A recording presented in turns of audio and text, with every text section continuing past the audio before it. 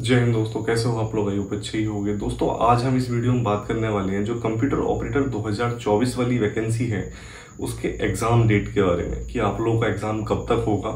और इसके साथ ही, हमारे एक साथी हैं तुषार, उन्होंने आरटीआई डाली है। आरटीआई होता है राइट टू इन्फॉर्मेशन एक्ट 2005 जिसके तहत हम किसी भी सरकारी संस्था से या भर्ती बोर्ड से सवाल पूछ सकते हैं, किसी भी एग्ज़ाम में कितने फॉर्म भरे गए हैं, कब तक उसका फाइनल रिज़ल्ट आएगा, कब तक एग्ज़ाम होगा, इससे रिलेटेड हम कुछ भी जवाब किसी भी सरकारी संस्था से पूछ सकते हैं। ये हमारा अधिकार है।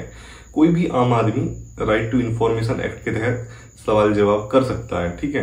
तो तुषार भाई ने आरटीआई फ़ाइल की थी भर्ती बोर्ड में। तो भर्ती बोर्ड ने क्या जवाब दिया? कंप्यूटर ऑपरेटर एग्ज़ाम से रिलेटेड वो भी मैं आरटीआई आपको पढ़कर इस वीडियो में सुनाऊँगा। और इसके साथ ही आपको ये भी बताऊँगा कि एग्ज़ाम क्यों डिले हो रहा है। और क्या वर्किंग प्रोसेस इस समय चल रहा है भर्ती बोर्ड में? और कब तक एग्ज़ाम होने की उम्मीद है? दोस्तों, अगर आपको वीडियो अच्छा लगे तो प्लीज़ लाइक कर देना और चैनल को भी सब्सक्राइब कर देना इसी तरह के आगे भी वीडियोस देखने के लिए। तो चलिए बिना देरी करे वीडियो शुरू करते हैं। दोस्तों, सबसे पहले हम आरटीआई ही पढ़ लेते हैं, जो आरटीआई तुषार भाई ने डाली थी। उसका क्या रेप्लाई भर्ती बोर्ड ने दिया? आरटीआई संख्या P R P V L slash R दो हज़ार चौबीस स्लैश साठ हज़ार सात सौ पैंसठ। आवेदक तुषार द्वार मतलब ये भर्ती बोर्ड ने जवाब दिया है तुषार द्वार के लिए, ठीक है?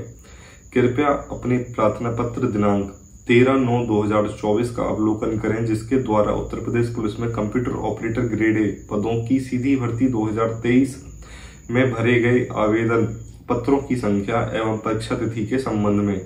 सूचना के अधिकार के अंतर्गत सूचना मांगी गई थी। मतलब तुषार भाई ने आवेदनों की संख्या पूछी थी कितने आवेदन भरे गए हैं और परीक्षा की तिथि के संबंध में सूचना पूछी थी कि परीक्षा कब तक होगी।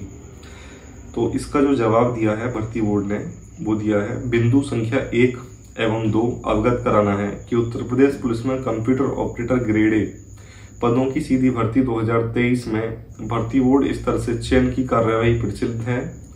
भर्ती से संबंधित अधिक जानकारी हेतु भर्ती बोर्ड की website UPPRB dot G O V dot in का अवलोकन करते रहें।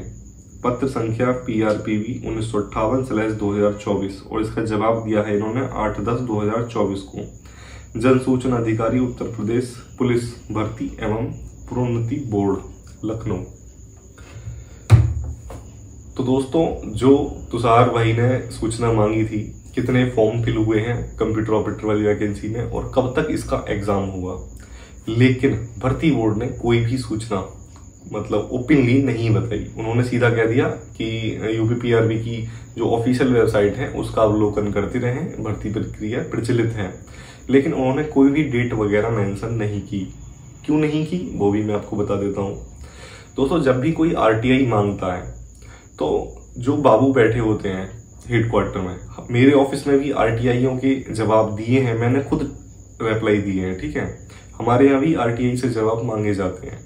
लेकिन कोई भी ओपनली जवाब आरटीआई के माध्यम से कोई भी बाबू हो, किसी भी ऑफ़िस का वो नहीं देता। वो क्यों नहीं देता? अगर किसी भी ऑफ़िस के किसी भी बाबू ने ओपनली कोई सूचना बता भी दी, मान लो भर्ती बोर्ड का ही ले लेते हैं। भर्ती बोर्ड के बाबू अगर यहाँ दिसंबर दे देते मेंशन कर देते हैं कि दिसंबर में आप लोगों का एग्ज़ाम होगा तो जो ऊपर अधिकारी बैठे हैं SP additional SP IG DIG rank के तो कहीं ना कहीं उनके लिए वो मुसीबत बन जाती, ठीक है? अगर वो रिप्लाई दे देते तो फिर आप लोग सब तैयार थे कि दिसंबर में आप लोगों का एग्ज़ाम हो और एग्ज़ाम किन्हीं कारणों अगर डिले हो जाता, या दिसंबर में नहीं होता तो कोई भी छात्र भर्ती बोर्ड के ऊपर भी केस कर सकता था।